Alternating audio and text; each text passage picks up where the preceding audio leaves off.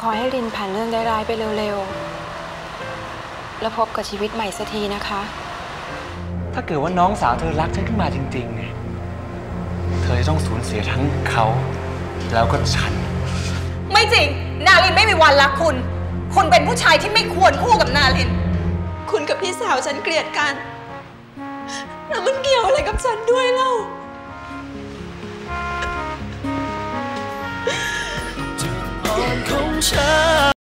อป CS 3 Plus ดูสดและย้อนหลังฟรีได้ที่แรก ดาวน์โหลดเลย ไม่อยากพลาดละครสนุกกด subscribe ไปไว้นะคะ